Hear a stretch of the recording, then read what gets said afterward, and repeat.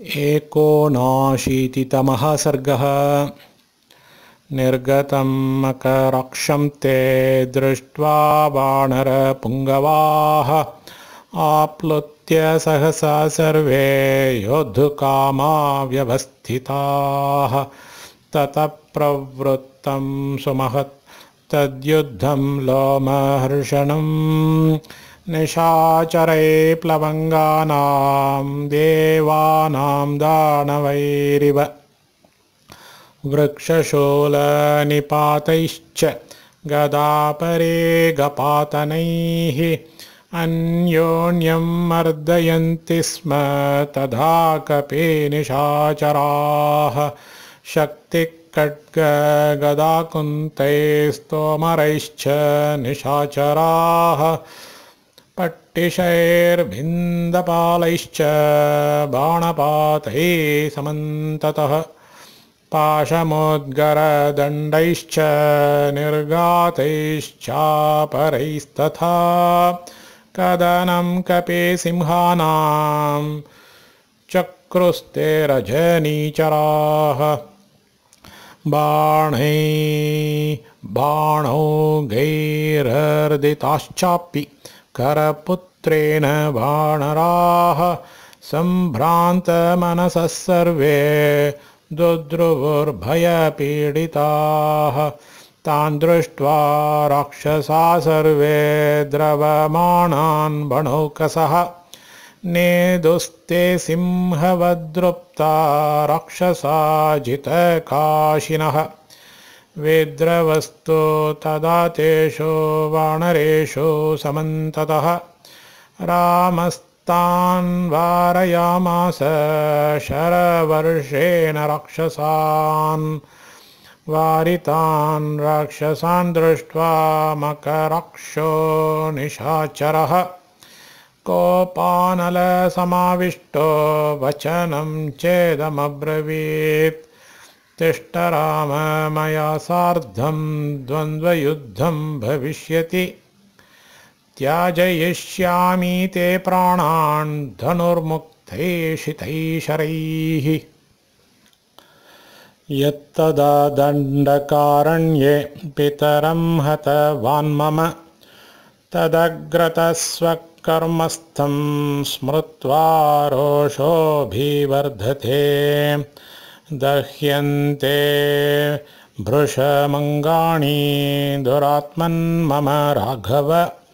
यन्मयासि न दृष्टस्त्वं तस्मिन् काले महावणे दिष्ट्यासि दर्शनं राम मम त्वं प्राप्तवाणिः काङ्क्षितोऽसि क्षुधार्तस्य सिंहस्येवेतरो मृगः अद्य मद्बाणवेगेन प्रेतराङ् विषयं गतः।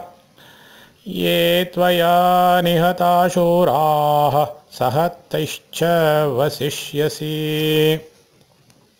बहुनात्र किमुक्तेन शृणु राम वचो मम पश्यन्तु सकला लोकास्त्वां मां चैव रणाजिरे।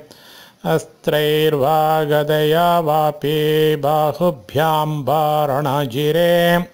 अभ्यस्तं येन वा राम वर्ततां तेन वा मृधम् मकराक्षवच श्रुत्वा रामो दशरथात्मजः अब्रवीत् प्रहसन् वाक्यम् उत्तरोत्तरवादिनं कत्थसे किं वृथा रक्षो बहून्यसदृशाणि ते। नर्रणे शक्यते ते जेतुं विना युद्धेन। वाग्बलात् चतुर्दशसहस्राणि रक्षसां त्वत्पिता च यः त्रिशिरादूषणश्चापि दण्डके निहतो मया। स्व स्वाशिताश्चापि मांसेन गृध्रघोमायुवायसाः भविष्यन्त्यद्य वै पापतीक्ष्णतुण्डनः दुःखाङ्कुशाः राघवेनैव मुक्तस्तु। मकराक्षो महाबलः बाणौघानमुचत्तस्मै राघवाय रणाजिरे। ताञ्चराञ्चरवर्षेण रामश्चिच्छेदनैखधा निपेतुर्भुवि विच्छिन्ना रुक्मपुङ्खा सहस्रशः। तद्युद्धमभवत्तत्र समेत्यान्योन्य मोजसा खरराक्षसपुत्रस्य सुनोर्दशरथस्य च। जीमूतयोरिवाकाशे शब्दो जातलयोरिव धनुर्मुक्त स्वनोऽन्योन्यं श्रूयते चरणाजिरे।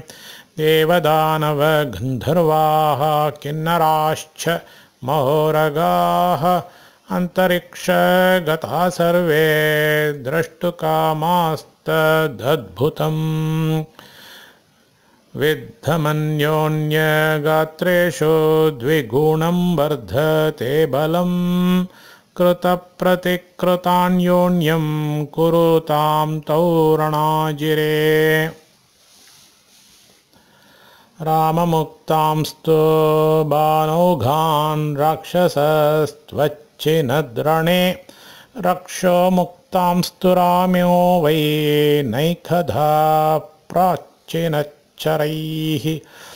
बाणौघवे तथा सर्वा दिशश्च प्रदेशस्तथा सञ्चन्नवसुधा चैव समन्तान्न प्रकाशते। ततः क्रुद्धो महाबाहुर्धनुश्चिच्छेदसंयुगे अष्टाभिरतनाराचैः सूतं विव्याध राघवः भित्त्वा रथं शरैरामा हत्वा श्वाणपातयत् विरथो वसुधास्थः स मखराक्षो निशाच्छरः तत्तिष्ठद्वसुधां रक्षः शूलं जग्राह पाणिना त्रासनं सर्वभूतानां युगान्ताग्निसमप्रभम् दुरावापं महच्छूलं रुद्रदत्तं भयङ्करम् जाज्वल्यमाणमाकाशे संहारस्त्रमिवापरम् यं दृष्ट्वा देवता सर्वा भयार्ता विद्रुता दिशः। विभ्राम्य च महच्छूलं प्रज्वलन्तं निशाच्छरः। सक्रोधात् प्राहिणोत्तस्मै राघवाय महावे। तमापतन्तं ज्वलितं खरपुत्रकराच्युतं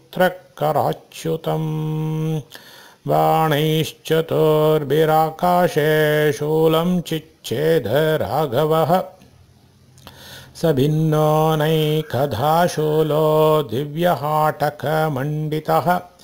व्यशीर्यत महोल्केव रामबाणार्दितो भुवि।